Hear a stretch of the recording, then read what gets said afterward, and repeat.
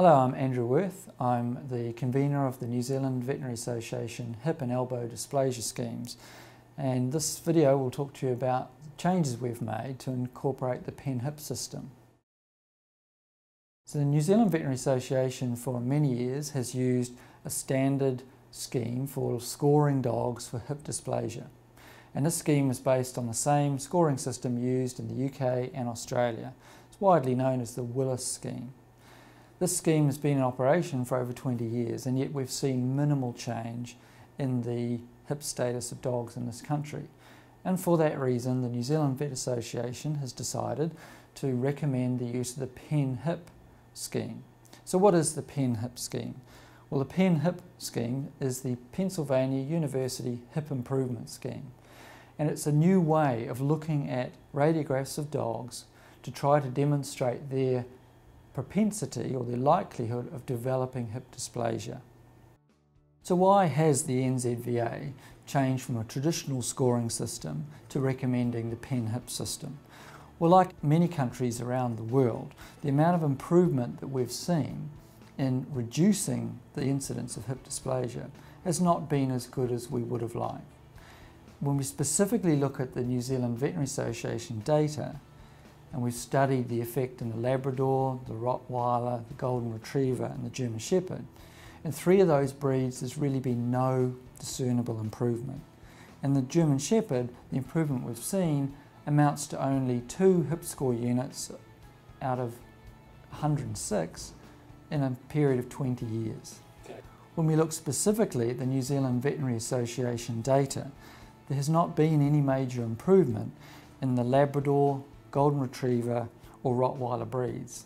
And even in the German Shepherd, the amount of improvement is only two hip score units in the last 20 years. So what evidence is there that changing to the PennHIP scheme is going to increase the improvement we're likely to see over the next several generations? Well, organisations such as the Seeing Eye in the US have moved from a traditional scoring system to PennHIP and they've noticed an improvement in their offspring. In the past, they used the American equivalent of our NZVA scheme, but greater gains have been achieved since moving to PennHIP. And this is likely due to the higher heritability of the PennHIP distraction index. Heritability is a measure of how much of a trait is determined by the genetics of a dog versus the environmental effects. So a poorly heritable trait is mainly produced by changes in environment, the way the dog was brought up. But a highly heritable uh, trait is primarily determined by the dog's genetics. It turns out that the, the key indicators of hip dysplasia on a traditional scoring scheme have fairly low heritability, whereas we get moderate to high heritability when we use a distraction index as measured by PennHIP. So what is the distraction index? The distraction index is a measurement of how loose a dog's hips are. The PennHIP system targets this looseness or laxity as a sign that the dog will go on to develop hip dysplasia or is at risk of hip dysplasia. It's important to know that not every dog with loose hips automatically gets hip dysplasia, but the more loose they are, the greater the risk. We can demonstrate looseness on this plastic model. If we look at the hip in its normal position at a standing angle, then there's always a certain degree of movement available, otherwise the hip would simply wear out. This is its loosest position. But if we look at the position in which we take a traditional x-ray, we're extending the dog's hips and putting them in their tightest possible position because all the soft tissues, the joint capsule and the ligaments are twisted around and that pushes the hips tighter and tighter. So the traditional system has a limitation in that the dog's hips will look at their tightest. The PennHIP system puts the hips in a neutral position and then distracts them, applies a force that will bring the hip out into its most loose position.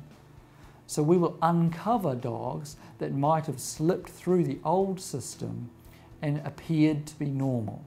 And that's essentially the problem with the traditional schemes, is that they tend to produce false negatives, dogs that appear to have good hips but actually have some laxity.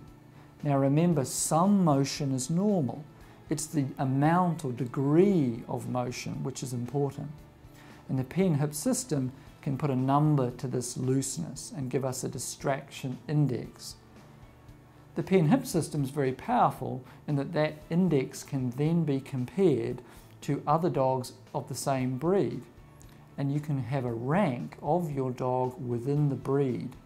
So the PennHIP system has some marked advantages because it has a high heritability and we can eliminate or reduce the number of false negatives. If we think about the old system, it served us well, it served its purpose, but it's a bit like an old cell phone from 20 years ago.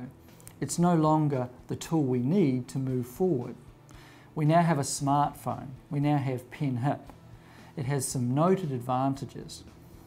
There is some change in the process by which we have to take the x-rays and there is an additional cost simply because three x-rays need to be taken and training is required on behalf of the veterinarian.